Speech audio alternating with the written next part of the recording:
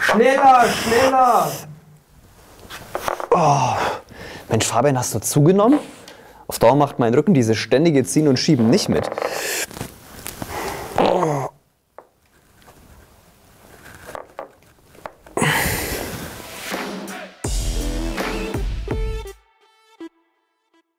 In eurem Alltag als Pfleger oder Pflegerin gibt es viele schwere und oft unhandliche Gegenstände, die bewegt werden müssen.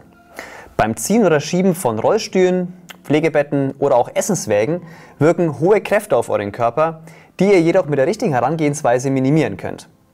Tipps zur richtigen Technik bekommt ihr von mir. Tipp Nummer 1. Beide Hände benutzen. Zieht schwere Gegenstände wie beispielsweise Pflegebetten immer mit beiden Händen. Denn besonders in Kurven kann das hohe Gewicht und das Ziehen mit nur einer Hand dazu führen, dass eure Wirbelsäule und Gelenke verdreht werden. Dabei wirken hohe Kräfte auf eure Bandscheiben und Kniegelenke, die auf Dauer Schaden nehmen können. Achtet deshalb darauf, beim Ziehen immer beide Hände zu benutzen. Macht kleine Schritte und richtet euren Körper dabei zum Bett hin aus. So bleibt eure Wirbelsäule gerade. Ein weiterer Vorteil? Ihr könnt mehr Kraft aufwenden und insbesondere schwere Lasten deutlich besser kontrollieren. Tipp Nummer 2. Schieben statt ziehen. Manchmal erscheint es einfacher, Dinge zu ziehen, anstatt zu schieben. Trotzdem ist das Schieben grundsätzlich besser für euren Körper. Es ist für euren Rücken deutlich schonender als Ziehen und ihr könnt auch mehr Kraft aufwenden. Beim Schieben solltet ihr jedoch darauf achten, den Abstand zur Last immer möglichst klein zu halten. So könnt ihr euren Rumpf und eure Beine besser einsetzen und die Last leichter steuern.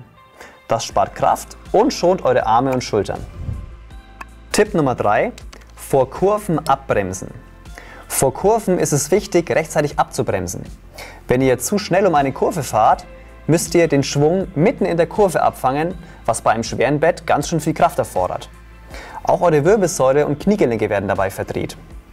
Wenn ihr aber rechtzeitig abbremst, könnt ihr in der Kurve euren gesamten Körper mit kleinen Schritten mitdrehen und habt wesentlich mehr Kontrolle über das Bett. So schützt ihr eure Wirbelsäule und eure Kniegelenke.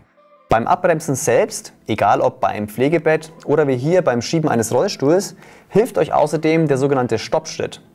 Dabei fangt ihr das Gewicht mit dem vorderen Bein ab und euer Rücken bleibt so gerade. Tipp Nummer 4. Den Hebel kurz halten. Positioniert euch so nahe wie möglich an dem Gegenstand, den ihr schieben wollt. Je weiter ihr weg seid, desto länger ist euer Hebel und umso mehr Kraft müsst ihr mit den Armen und Schultern aufwenden. Außerdem besteht die Gefahr, dass ihr euch weit nach vorne lehnen müsst und euren Rücken rund macht, wodurch eure Wirbelsäule nicht mehr richtig geschützt ist. Geht deshalb nahe an den Gegenstand heran, den ihr bewegen wollt. Haltet euren Oberkörper aufrecht und eure Arme gebeugt und eng am Körper. So könnt ihr mehr Kraft aufwenden und habt mehr Kontrolle beim Manövrieren. Ihr müsst außerdem eure Wirbelsäule nicht verdrehen und entlastet so eure Bandscheiben. Egal ob Pflegebett, Essenswagen oder Rollstuhl, jetzt wisst ihr, wie ihr euren Körper am besten einsetzt, um auch diese schweren Gegenstände rückenschonend zu bewegen. Je öfter ihr die richtige Technik anwendet, umso mehr gewöhnt sich euer Körper daran und mit der Zeit nutzt er sie ganz automatisch. Hier habe ich außerdem noch ein Video zum richtigen Heben und Tragen für euch. Wenn ihr die kommenden Videos zum Thema Ergonomie und Gesundheit in der Pflege nicht verpassen wollt, dann abonniert unseren Kanal und drückt die Glocke.